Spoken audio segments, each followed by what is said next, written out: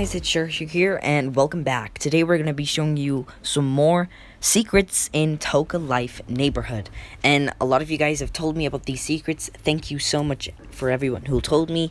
And I'm going to be making a video on the rest of them to show people who don't know the these secrets. So here we go. So the first secret is on the first floor. If you tap the button then, um, there'll be another different robo robot and they have like a little dance studio and like a booth in that. And that's pretty cool and you can just put him back. Uh, okay.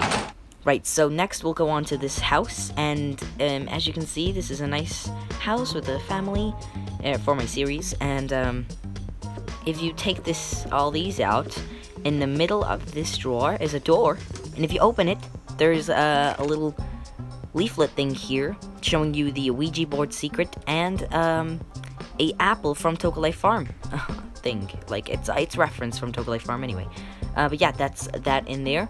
Let's go on to the next secret, uh, which is on the second floor. Okay, guys, so here we are in the second floor, and if we go across to this really pink room, um, you can see that behind this painting, this earth painting, is a diamond sloth. How amazing is this, guys? This looks absolutely amazing. And you can place it back and roll up the, um, roll that back up. so yeah, and I think that's pretty much all the secrets that I got told.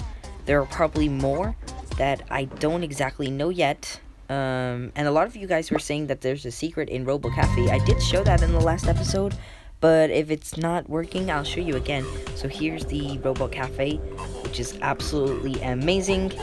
And also, oh, here's a secret. I don't know if this is a secret, but if you open this, there's a heart here.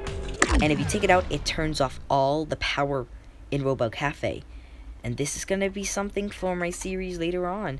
But, uh, whoa, she, she's got a longer hand than the other hand. That's strange.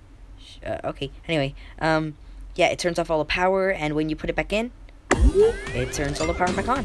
It's pretty amazing. So if you open this door here, there be the four triangles, which I did show in the last video, but if it didn't work, there'll be a little key pop. Open it up, and here's the other area. And you can switch these and all that. But yeah, anyway, guys, thank you so much for watching this episode. Um, if you liked it, please give it a big fat thumbs up, and if you loved it, subscribe. I love the vent, the thing goes into this. Wait, where does that go then? Does it go back around here? I think it does. This conveyor belt, it goes through here, and it comes back all the way around there. Anyway, guys, thank you so much for watching, and I will see you all in the next video. This is just a short video showing you some more extra secrets. And yeah, thanks for watching, and I'll see you all in the next video. Uh, didn't I just say that? Okay, bye!